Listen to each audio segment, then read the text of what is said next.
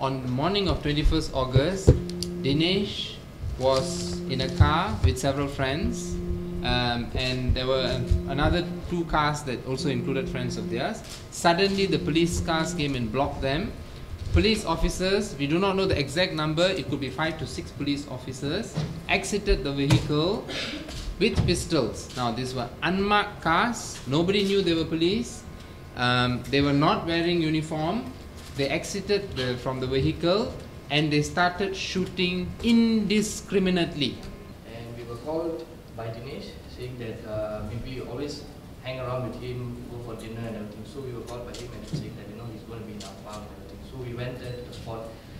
And the moment we reached there, we reached there, uh, I I cut him at the traffic light there. I cut him. I went towards the front, right in front of the traffic light. I waited, and the other car stopped at the uh, at the back of uh, Dinesh's car. Okay, and we were waiting at the traffic light.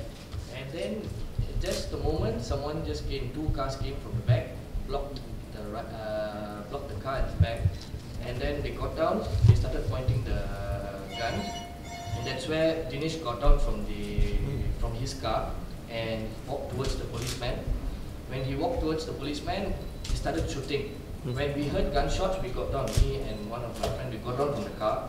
We, we saw the gunshots and everything, we got panicked and we fled off. There's another one of my friend who was right behind his car when he saw the, the gunshot, the shooter. Everyone got panicked at that time, that time where you know they started shooting haywire here and there. There wasn't given uh, warning shooting, shoot, shooting towards up or anything saying that they were police or anything like something like that.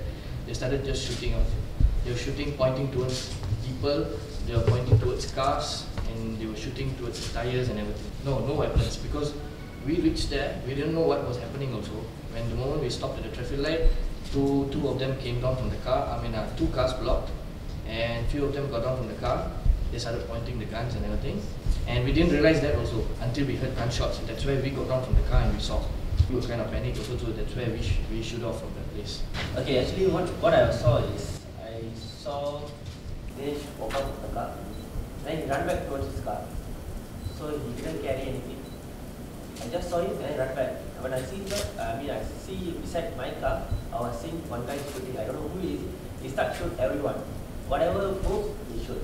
He didn't, didn't give any warning or what. He just shoot. Even I tried to flat off, he shoot my car. Like he didn't, uh, he didn't hit any mirror or my side mirror. If let's say hit, uh, maybe the shot will be on my head also. I, was, I can say I was lucky of that time. But he start shooting, he was shooting randomly. He didn't see like, the way he shoot is like he want to kill people.